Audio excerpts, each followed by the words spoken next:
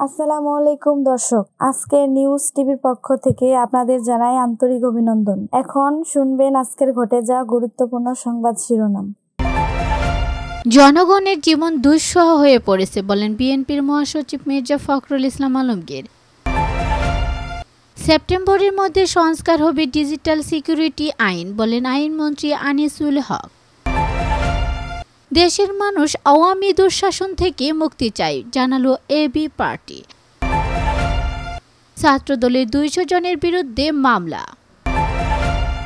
দেশের রাজনীতি বুঝতে হলে লন্ডনে বসে থাকলে হবে না বললেন বাদশাহ। বেফাস মন্তব্যে শাস্তি পেতে পারেন সালাউদ্দিন। বাংলাদেশের সঙ্গে প্রতিরক্ষা খাতে সহযোগিতা বাড়াতে চায় জাপান। এতক্ষণ শুনছিলেন সংবাদ শিরোনাম। এবার বিস্তারিত। বিএনপির মহাসচিব মির্জা ফখরুল ইসলাম আলমগীর বলেছেন, বর্তমান সরকারের অধীনে বাংলাদেশ এখন প্রায় ধ্বংস রাষ্ট্রের ধান প্রান্তে পৌঁছে গিয়েছে। একটি ব্যর্থ রাষ্ট্রের দিকে পতিত হচ্ছে। অর্থনীতিতে ব্যর্থতার কারণে জনগণের জীবন দুঃসহ হয়ে পড়েছে। দুপুরে গুলশানে বিএনপির চেয়ারপারসনের রাজনৈতিক কার্যালয়ে লিবারেল ডেমোক্রেটিক পার্টির সঙ্গে আলোচনা শেষে এ সকল কথা বলেন তিনি। তিনি বলেন, দ্রব্যমূল্য অসহনীয় পর্যায়ে পৌঁছেছে। ব্যাংকগুলোকে পুরোপুরিভাবে খালি করে অর্থব্যবস্থা ব্যবস্থাকে ধ্বংস করা হচ্ছে। স্বাস্থ্য খাতে শিল্প খাতে সবকিছুতে একটি নৈরাজ্য পরিস্থিতি তৈরি হয়েছে। একই সঙ্গে আমাদের ন্যূনতম যে অধিকার, ভোটে দেওয়ার অধিকার, কথা বলার অধিকার, আমাদের স্বাধীন মত প্রকাশের যে অধিকার তা কেড়ে নেওয়া হয়েছে। উনিশশো সালে যুদ্ধের মধ্য দিয়ে যে অধিকারগুলো অর্জন করেছিলাম, সেই অধিকারগুলো পুরোপুরি ধ্বংস করে দিয়েছে। তাদের একটি মাত্র উদ্দেশ্য, তারা একদলীয় শাসন ব্যবস্থা আবারও প্রতিষ্ঠা করতে চায়। সত্যিকার অর্থে দেশে যারা গণতন্ত্র প্রতিষ্ঠা করতে চাই, সেই দলগুলোর সঙ্গে আমরা একজোট হয়ে যুগপথ আন্দোলন শুরু করেছি। গণতন্ত্র পুনরুদ্ধারের জন্য, আমাদের অধিকার ফিরে পাওয়ার জন্য। ডিজিটাল সিকিউরিটি আইন বাতিল হবে না, তবে আগামী সেপ্টেম্বরের মধ্যে আইনটি সংস্কার করা হবে বলে জানিয়েছেন আইনমন্ত্রী আনিসুল হক। এ সময় তিনি বলেন, আমি দ্ব্যর্থহীনভাবে বলতে চাই ডিজিটাল সিকিউরিটি আইন বাতিল হবে না। বিশ্বমুক্ত গণমাধ্যম দিবস উপলক্ষে ট্রান্সপারেন্সি ইন্টারন্যাশনাল বাংলাদেশ আয়োজিত shaping a future of rights শীর্ষক আলোচনা সভায় প্রধান অতিথির বক্তব্যে কথা বলেন তিনি। অনুষ্ঠান সঞ্চালনা করেন টি আইবির নির্বাহী পরিচালক ডক্টর ইফতেখারুজ্জামান এ সময় সুইডেনের রাষ্ট্রদূত Alex Berg von Linde, UNESCO Dhaka অফিসের in charge Susan Vize barrister Jyotirmoy Barua, Dhaka ট্রিবিউনের নির্বাহী সম্পাদক রিয়াস আহমেদ, মানবাধিকার কমিশনের চেয়ারম্যান ডক্টর কামাল উদ্দিন আহমেদ, ঢাকা বিশ্ববিদ্যালয়ের গণ যোগাযোগ বিভাগের অধ্যাপক ডক্টর গীতি আরা নাসরিন প্রমুখ উপস্থিত ছিলেন। আইনমন্ত্রী বলেন, এখন মামলা মামলা হলে তা গ্রহণ করা হয় না। বিশেষ সেলে পাঠানো হয়। যাচাই বাছাই শেষে আদালতে মামলা দাখিল করা হয়। সেলকে বলায় আছে, অযথা সাংবাদিকদের গ্রেপ্তার না করতে। ডিজিটাল সিকিউরিটি আইনের সমস্যা দূর করে এটাকে সর্বসাধারণের আইন করা হবে।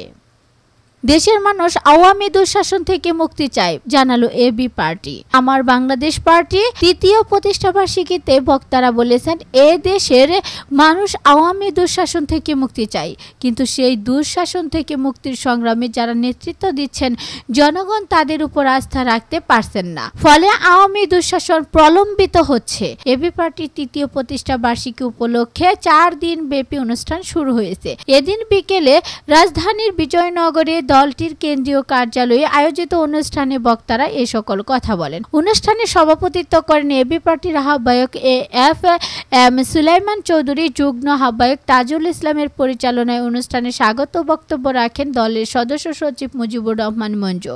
এরপর সম্মিলিতভাবে কেক কেটে কর্মসূচির উদ্বোধন করেন বিশিষ্ট রাষ্ট্রচিন্তক রাষ্ট্রভাষা সংগ্রাম পরিষদের আহ্বায়ক অধ্যক্ষ আবুল কাশেম ফজলুল হক। অনুষ্ঠানে বক্তারা বলেন সরকারের ব্যর্থতা, দুর্নীতি ও অপশাসনের কারণে রাষ্ট্রের প্রতিটি প্রতিষ্ঠান অকার্যকর হয়ে পড়েছে। ক্ষমতা হারানোর বয়ে বর্তমান সরকার নির্বাচন ব্যবস্থাকে ধ্বংস করে দিচ্ছে। এটা দেশকে আবারও পাকিস্তানের শোষণের কালো অধ্যায়ে নিয়ে যাবে। এর জন্য আওয়ামী লীগকে অনিবার্যভাবে বাংলাদেশে মুসলিম লীগের ভাগ্যপরণ করতে হবে।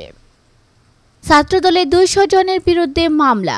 জটিকা মিছিল থেকে আটক আট ছাত্রদল নেতাকর্মীর নাম উল্লেখ করে অজ্ঞাত অজ্ঞাত পরিচয়ে আরও একশো পঞ্চাশ থেকে দুইশো জনের বিরুদ্ধে মামলা দিয়েছেন পুলিশ। রাতে হজরতে শাহজালাল রহমতুল্লিল তদন্ত কেন্দ্রের ইনচার্জ কাজী জামাল উদ্দিন বাদী হয়ে এই মামলাটি দায়ের করেন। মামলায় এজহর নামীয় আসামিরা হলেন উসমানী উসমানীনগরের গোয়ালাবাজার ইউপি ছাত্রদলের সদস্য জুনায়দ হুসাইন, মহানগর ছাত্রদলের সহ সাধারণ সম্পাদক আবুল হোসেন, সদর উপজেলা যুব দলের সদস্য রাজু আহমেদ, সিলেটের সদর উপজেলার এয়ারপোর্টে থানাধীন লাখাউরা এলাকার মৃত আবুল মিয়ার ছেলে কামরুল হাসান, মহানগর ছাত্রদলের সহসাংগঠনিক সম্পাদক আব্দুল সালাম টিটু ছাড়াও আরও অনেকে।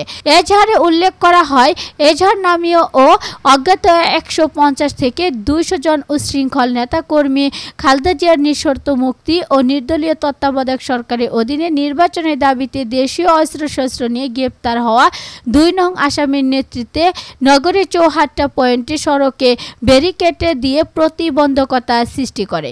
এ সময় সরকার বিরোধী উস্কানিমূলক স্লোগান দিচ্ছিলেন তারা। ঘটনার সময় ছাত্রদলের নেতাকর্মীদের শান্ত হওয়ার জন্য বললে, তারা উত্তেজিত হয়ে সরকারি গাড়িতে বাধা দেয় এবং হত্যার উদ্দেশ্যে পুলিশকে লক্ষ্য করে ইট পাটকেল নিক্ষেপ করে।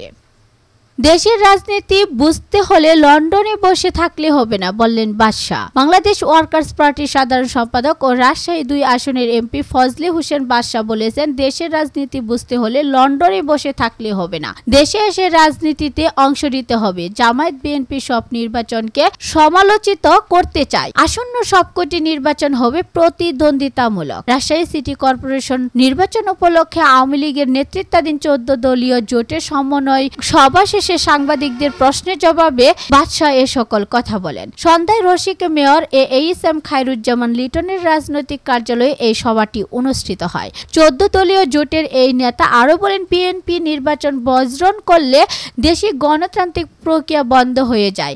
এটা ধারণা আমরা মুছে ফেলতে চাই। আমরা দেখাবো জনগণের গণতান্ত্রিক ভোট আছে। তারা বুঝেন ভোট না দিলে আমার নগরের সেবা বন্ধ হয়ে যাবে। নির্বাচনটাকে অর্থবহ করার জন্য, জনগণের অংশগ্রহণ নিশ্চিত করার জন্য এটাও আমাদের একটা রাজনৈতিক কৌশল। ফজলে হোসেন বাদশাহ আরও বলেন, রাজশাহীর উন্নয়নে বন্ধ কলকারখানা চালু করা গুরুত্বপূর্ণ। এজন্য আমরা মেয়র লিটনকে নিয়ে সরকারের কাছে প্রয়োজনীয় দিক নির্দেশনা তুলে ধরব। মেয়র নিজেও বারবার এই অঞ্চলে কর্মসংস্থান সৃষ্টির উপর জোর দিচ্ছেন। বেফাস মন্তব্যে শাস্তি পেতে পারেন সালাউদ্দিন। সংবাদ মাধ্যমের উপর কাজী সালাউদ্দিনের ক্ষোভটা পুরনো। বড় সংবাদ সম্মেলন কিংবা অগোচরে প্রায় মিডিয়া নিয়ে নেতিবাচক মন্তব্য করতে দেখা যায় তাকে। বাফুফে সভাপতির দাবি, মিডিয়ায় বদনামের কারণে নাকি ফুটবলে বিনিয়োগ করতে আসে না স্পন্সররা। অতীতের নেতিবাচক মন্তব্য করলেও সেগুলো ছিল কিছুটা সহনীয়। তবে সাংবাদিকদের নিয়ে যে মন্তব্য করেছেন তা সত্যতা ভব্যতার সব মাত্রা ছাড়িয়ে গেছে। জার্নালিস্টরা এখানে ঢুকতে গেলে তাদের আমরা এখানে ফটো দিতে হবে তাদের বাপ মার আরেকটা কন্ডিশন হলো তার বাপের ফটো পাঠাবে জুতা পরা। গণমাধ্যমের উপর যে ভীষণ রাগ, সেটাই যেন স্পষ্ট হয়ে উঠেছে তার কথায়। সংবাদ কর্মীদের নিয়ে তার এই অপমানজনক মন্তব্যে ক্ষোভে ফুটছেন গোটা ফুটবল আঙ্গন। বাংলাদেশের সঙ্গে প্রতিরক্ষা খাতে সহযোগিতা বাড়াতে চায় জাপান। বাংলাদেশের সঙ্গে প্রতিরক্ষা খাতে সহযোগিতা বাড়াতে চায় জাপান। এই লক্ষ্যে উভয় পক্ষের সঙ্গে আলোচনা চলছে। এক সংবাদ সম্মেলনে ঢাকায় নিযুক্ত জাপানের রাষ্ট্রদূত ইউ আমা কিমিনোরি এই তথ্য জানান। সংবাদ সম্মেলনে এক প্রশ্নের জবাবে জাপানের রাষ্ট্রদূত বলেন, প্রতিরক্ষা খাতে বাংলাদেশকে সহযোগিতা দিতে আগ্রহী জানান। আগ্রহী জাপান। এই লক্ষ্যে আমরা আলোচনা চালিয়ে যাচ্ছি। প্রতিরক্ষা সরঞ্জাম সহায়তা সহায়তা নিয়ে আলোচনা চলছে। তবে কোন কোন সরঞ্জাম দেওয়া হবে সে বিষয়ে সুনির্দিষ্ট করে কিছুই জানাননি তিনি। বাংলাদেশের আগামী জাতীয় নির্বাচন নিয়ে মন্তব্য জানতে চাইলে জাপানের রাষ্ট্রদূত বলেন, নির্বাচন বাংলাদেশের অভ্যন্তরীণ বিষয়, এ নিয়ে কোনো মন্তব্য করতে চায় না। তবে যারাই ক্ষমতায় থাকুক, জাপান বাংলাদেশের সঙ্গে কাজ করবে।